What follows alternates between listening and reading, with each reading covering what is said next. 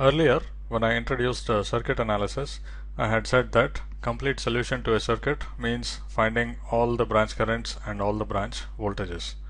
Okay. Now what we have done so far is to set up nodal analysis equations and by solving this we get all the node voltages. Okay. So how do we get the complete solution then?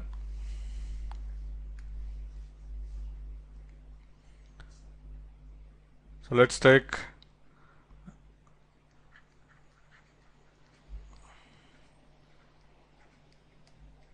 the nodal equations for some circuit. And use the example which we have been using so far which is a three node circuit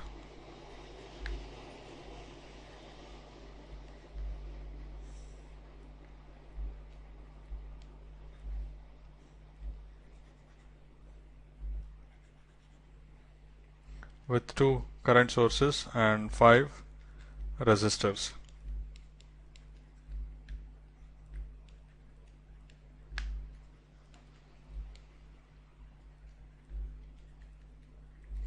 Okay, and we know the uh, nodal equations for this, which is G times the vector of voltages V equals the vector of sources I and the vector of voltages V consists of three vectors V1, V2, V3 where all these are voltages of uh, node 1, node 2 and node 3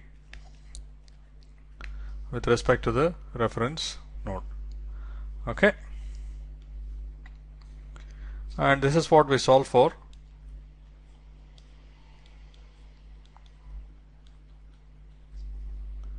When we invert the matrix and multiply the vector of current sources which in this case is this vector i1 0 i3 okay.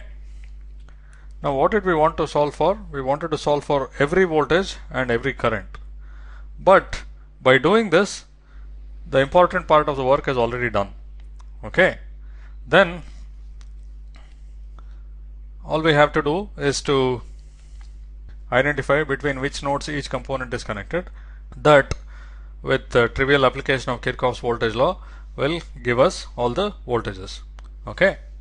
I'm going to write that down here. First of all let's uh, write down the voltages across every element. Across I1 all we have to do is to note that I1 is connected between node 1 and 0. So across I1 the voltage is V1 and R11 is also connected between node 1 and 0. So across R11 the voltage is V1. Similarly across R22 the voltage is V2. Across R33 the voltage is V3 and across I3 the voltage is V3. I mean this looks trivial but uh, this is just a systematic way of uh, finding out all the branch voltages and which can be applied to large circuits as well okay?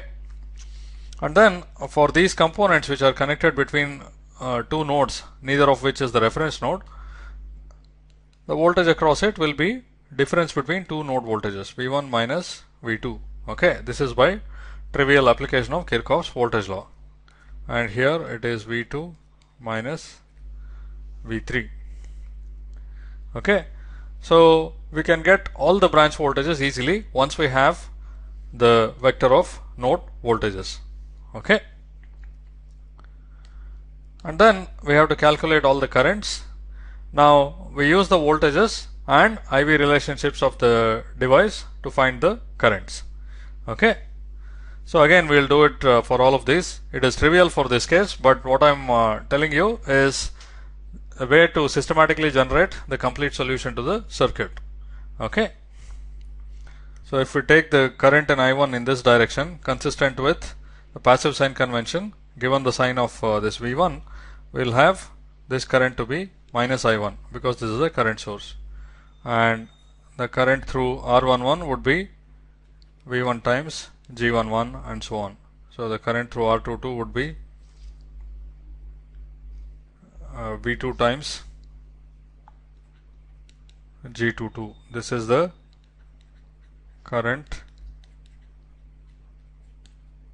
through R22 and similarly through R33 it would be V3 times G33 and through these resistors uh, R12 and R23 it can also be equally easily calculated as V1 minus V2 times G12 and V2 minus V3 times G23 okay. So this is how we can get a complete solution to the circuit. So in summary when you want to solve for uh, every electrical variable in the circuit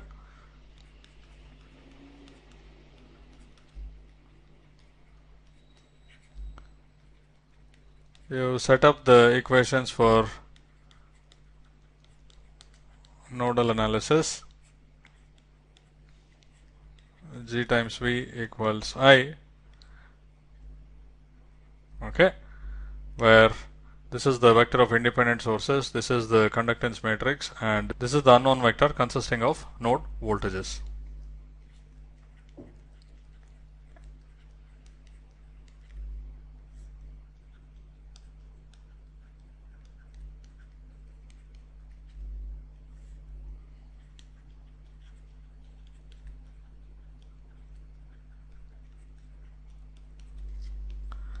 Okay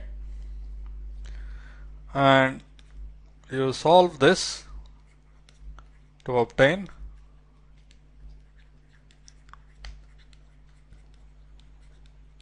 node voltages.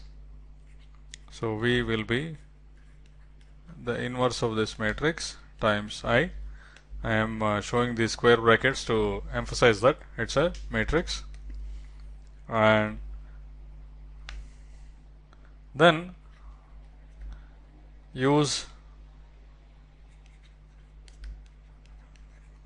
the node voltages to obtain all branch voltages. And finally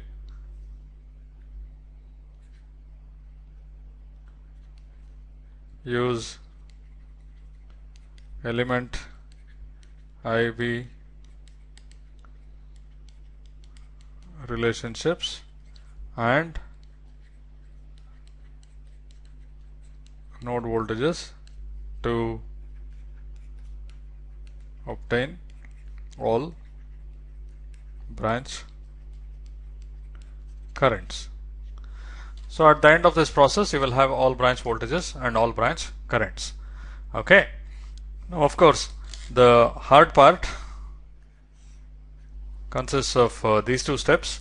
So that's what I've emphasized. So when we say nodal analysis, that is what is meant by nodal analysis. Although to get all the branch voltages and branch currents, you need to do these as well.